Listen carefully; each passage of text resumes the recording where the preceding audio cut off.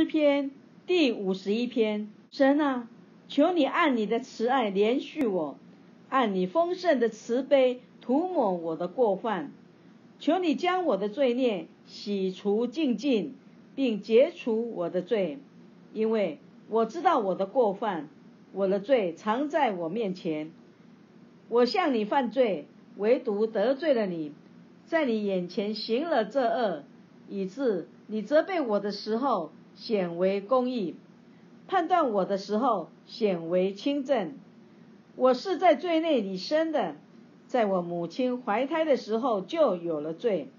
你所喜爱的是内里诚实，你在我隐秘处必使我得智慧。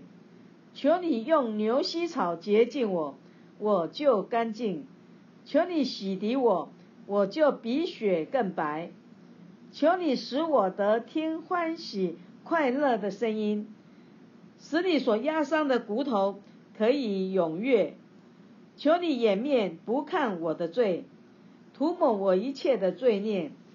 神啊，求你为我造清洁的心，使我里面重新有正直的灵。不要丢弃我，使我离开你的面；不要从我收回你的圣灵。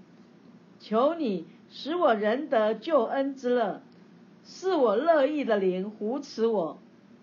我就把你的道指教有过犯的人，罪人必归顺你。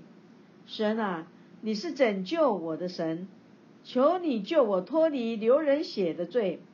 我的舌头就高声歌唱你的公义。主啊，求你使我嘴唇张开，我的口便传扬赞美你的话。你本不喜爱祭物，若喜爱，我就献上燔祭。